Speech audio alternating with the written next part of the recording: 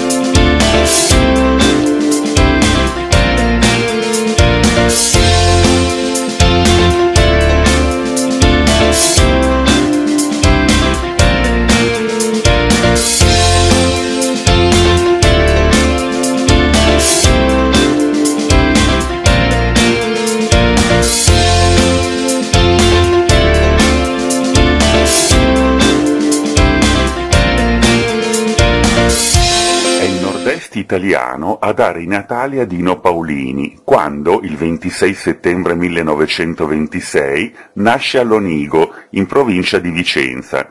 In Veneto avrà luogo la sua formazione presso l'Accademia di Belle Arti Cignaroli di Verona, che rimarrà sempre presente nell'attività artistica dello scultore, anche quando nel 1947, a soli 21 anni, decide di trasferirsi a Milano. È in questa città segnata dalla seconda guerra mondiale, intenta a rimettere insieme i pezzi, che Dino Paolini inizierà a farsi un nome grazie ad alcune mostre, tra cui quella del 1953 alla Galleria Bergamini e nel 1957 alla Galleria delle Ore, che lo metteranno in luce agli occhi di importanti personalità della critica d'arte come Mario De Micheli, Giovanni Fumagalli ed Emilio Tadini.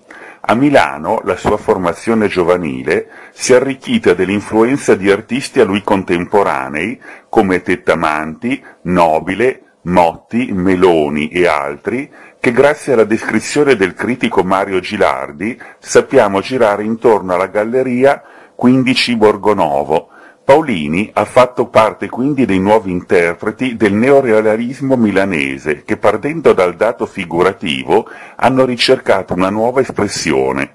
Per tutta la vita Paolini non abbandonerà mai il reale come punto di partenza neanche quando la sua ricerca lo porterà ad una diversificazione dei soggetti con le forme vegetali e fitomorfe e con l'ultimo periodo delle forme in divenire. Ben presto le sue capacità gli permetteranno di accrescere la fama oltre i confini italiani. Da ricordare la Mostra internazionale dei giovani a Varsavia nel 1955, il Symposium Europäischer Bildhauer a San Margareten in Austria nel 1959 e la Mostra internazionale di scultura a Würzburg e a Berlino nel 1961 e a Vienna nel 1962. Numerose inoltre sono state le sue partecipazioni personali e collettive su territorio italiano tra le più famose biennali e quadriennali. Dino Paolini non abbandonò mai la sua città di adozione dove ebbe due studi, all'inizio in via Longhi e successivamente in via Hayek. Parallelamente alla sua attività di scultore, Paolini lavorerà come insegnante di figure ornato modellato dal 1961 al 1992. Dino Paolini si spegne a Milano il 19 ottobre 2013. Nella Milano del secondo dopoguerra prende avvio l'arte di Dino Paolini, dove a modo di confrontarsi con la pattuglia del neorealismo milanese descritta da Mario Gilardi come un gruppo di artisti che giravano attorno alla galleria 15 Borgonuovo, il cui desiderio era quello di migliorare l'uomo.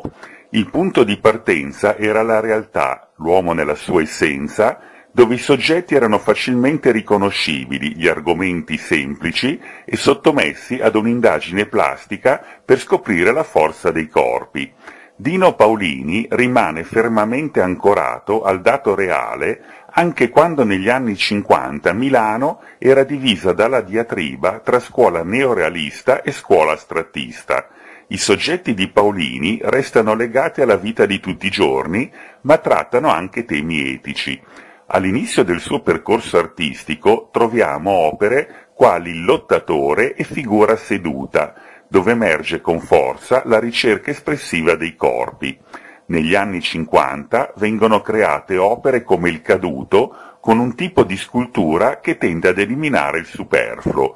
Negli anni 60 Paolini arriverà a una disgregazione atta a dimostrare maggiore drammaticità.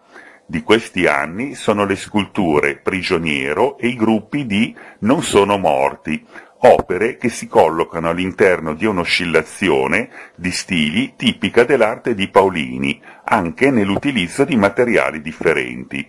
Con gli anni 70 e 80 questa varietà di stili si farà sempre più forte. Sono questi decenni dedicati ai gruppi di isole e ai fiori. Le isole sono gruppi di figure che affiorano da una base orizzontale. I fiori partono dalla forma naturalistica per evolvere verso giochi di forme e volumi. In entrambi i casi il reale osservato, preso e reinterpretato secondo la volontà dell'artista che negli anni 90, nell'ultima fase della sua arte, si avvicinerà a forme più astratte, forme in divenire. Anche in questa fase così estrema, l'arte di Dino Paolini ha saputo trovare un punto d'incontro ponendo al centro l'archetipo della forma, visto però nella sua essenzialità, nella sua sostanza. Obiettivo della mostra è quello di ripercorrere, attraverso la selezione di opere mirate, tutte le fasi del percorso artistico dello scultore, mettendo a confronto alcuni suoi disegni inediti, in particolare degli anni 2000. L'arte di Paolini si caratterizza per lo studio rigoroso di composizioni e forme sempre alla ricerca della sostanza più pura.